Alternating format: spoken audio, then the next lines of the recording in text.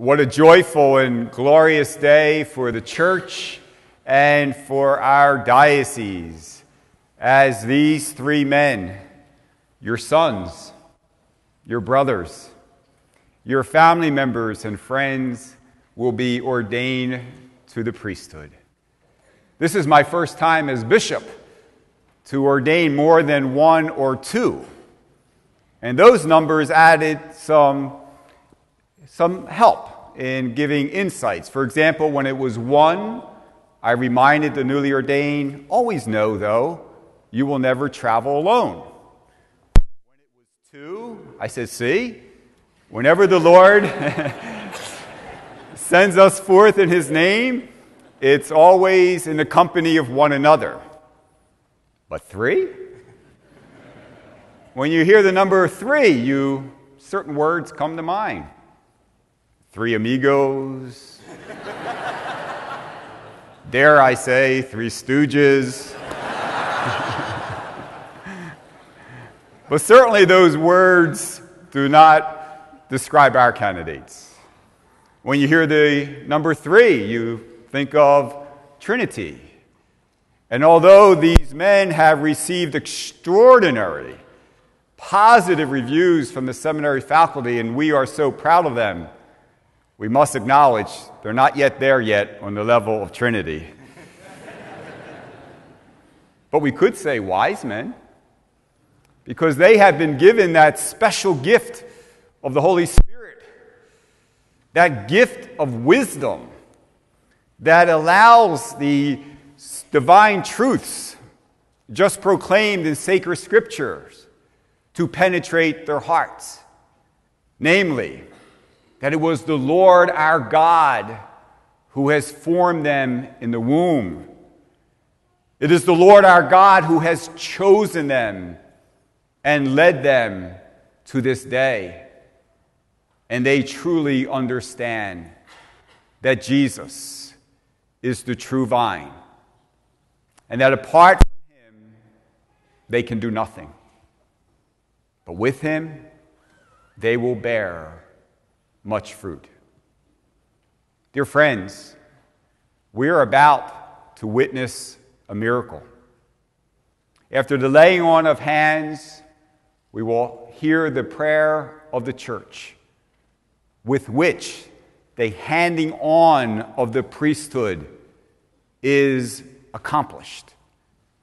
These men will be ordained forever, configured in the very person of Jesus Christ.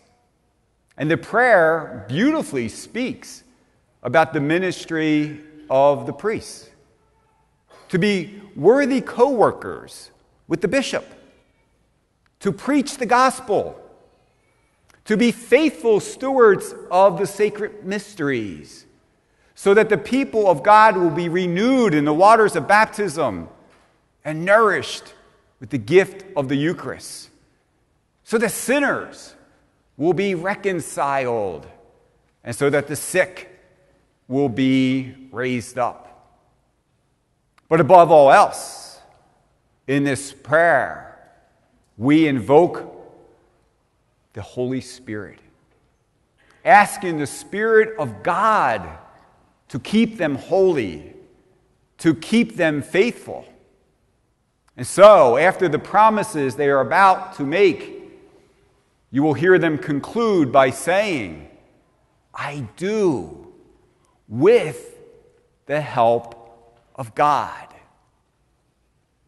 In our diocesan vocation video that we recently released, a number of the priests serving in our diocese also spoke about the ministry of priests. And they acknowledge that the life of the priest is filled with abundant joy.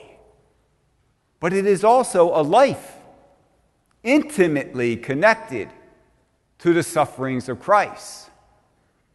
So, in doing the video and speaking to our young people, our priests did not offer the empty promises of the world. Listen to some of the lines in the video. The priest said, I do not promise that people will always listen to you. I do promise that you will want to repeat the message again and again. I do not promise that people will always seek your help. I do promise that they will always need you. I do not promise you a life of luxury. I do promise you eternal wealth. And I do not promise that you will eradicate all the evil and pain and suffering of the world. But I do promise you will bring hope wherever you go. And Nick, and Ryan, and Tom, as branches on that vine, you will bring such hope. In addition to faithfully proclaiming the gospel and reverently celebrating the sacraments, your promise of celibacy is a sign of hope, a sign of the kingdom of God in our midst. Your promise of obedience reflects the reason we all should have profound trust in God's divine plan and holy will. And your promise to pray fervently, including the daily recitation of the prayer of the church, will always be a great gift to the people you are sent to serve. What an exciting time this has been for you, your last year in the seminary.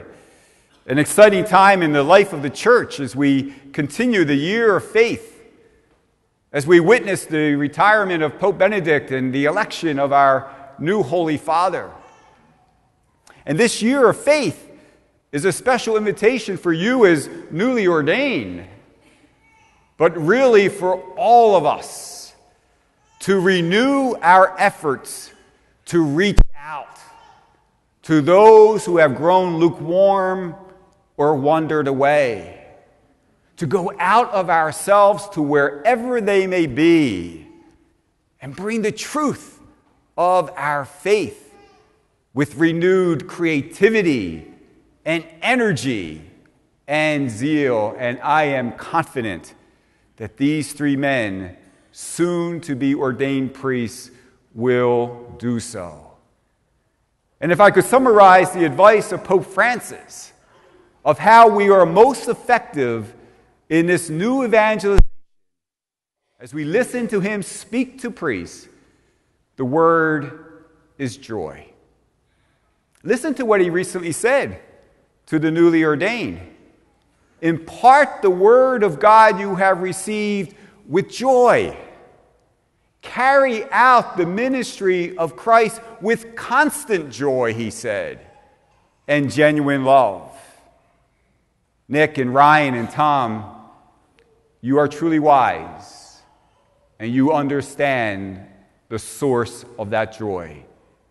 In the deepening every day of your intimate relationship with Christ and in imitating his service as you too go forth to help others, especially the needy and the poor and the most vulnerable.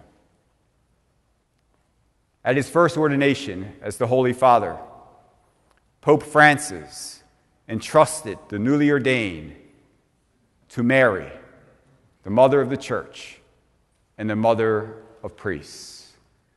Nick and Ryan and Tom, today, your bishop, your soon to be brother priests, your dear parents, and all who know and love you do the same. We pray that through the intercession of Mary and with the divine assistance of her Son, you will always be known for your holiness and priestly joy and remain truly wise, understanding that apart from Jesus, you can do nothing, but with him, you will bear much fruit. We are proud of you. God bless you and protect you always.